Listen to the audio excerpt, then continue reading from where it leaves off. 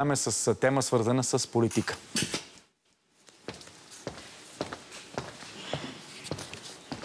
Над 2 милиона и 200 хиляди българи знаят за случай на шуробаджанащина в своята община. Това показват резултатите от поредния независим експертен телефонен сондаж на Gallup International, проведен на 12 и 13 октомври след 800 души. Тези над 2 милиона души, които показват и казват, че знаят за родински назначения, превърнати в проценти са 41 от запитаните. 56 на 100 отговарят, че не знаят за уреждане на свои хора от страна на властта в тяхната конкретна община.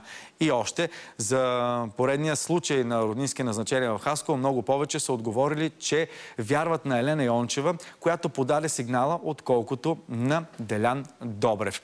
Виждате Кумгейт, на кого вярвате, Елена Йончева и Делян Добрев. Ще коментираме тези резултати и хората, които са казали, че а, са свидетели или пък знаят за м, родински назначения, най-общо казано в общините, където живеят, с Парван Симеонов.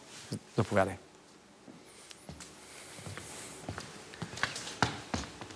Здравейте. Здравейте.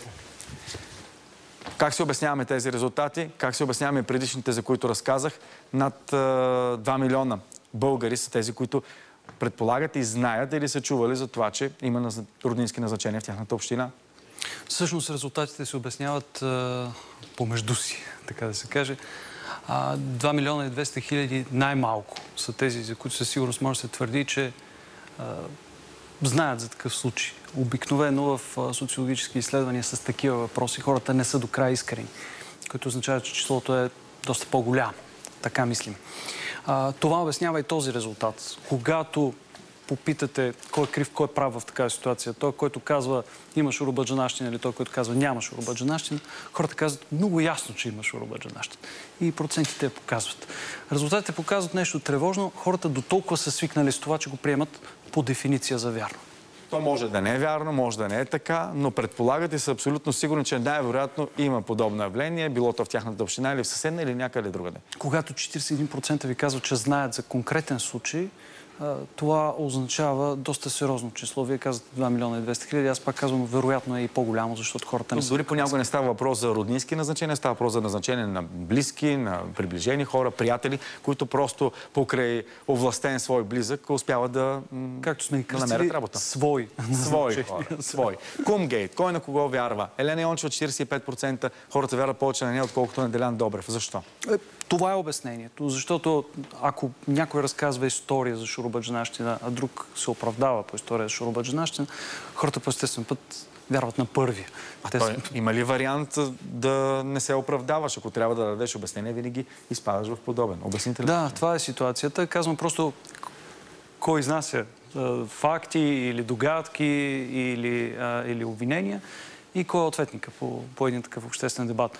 Обикновено, когато някой ви каже да, има такива назначения, хората са склонни да му повярват поради е, тия данни, за които говорихме преди малко. Хората го смятат за банално вече. Не знам дали го смятат за нормално в смисъл на приемливо, но го смятат за нормално в смисъл на широко разпространен. Одобрявате ли оставката на Антон Тодоров?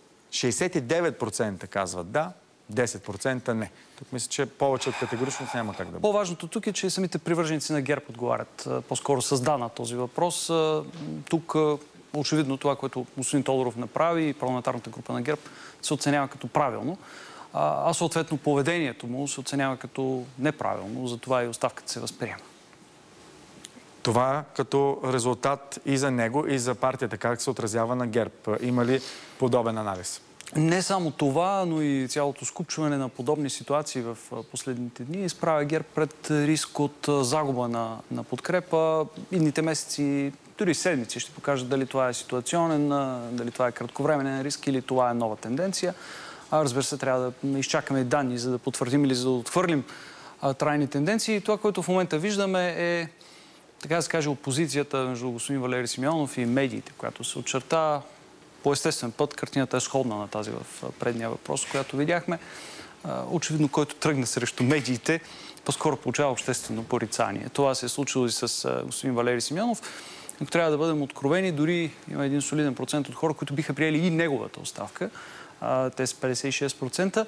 Но бързам да кажа, че за когото и от българските политици да попитаме подобен въпрос, той рискува подобни отговори. Е, сега Всички, биха приели оставката на нечи политик. С малки изключения, обикновено знаете, че в България с по-високо доверие, доверие, което надвишава недоверието, обикновено се ползват малцина. И това обикновено са Видяхме в предишната графика, видяхме предишната графика за това, че а, хората одобряват повече и, и подкрепят повече журналистите. Трябва ли обаче Валерия Симеонов да подаде оставка? 56% казвате да. това, е, това, е, това е следствието. Тук, разбира се, привържениците на управляващите формации, на ГЕРБ и патриотите не са на това мнение.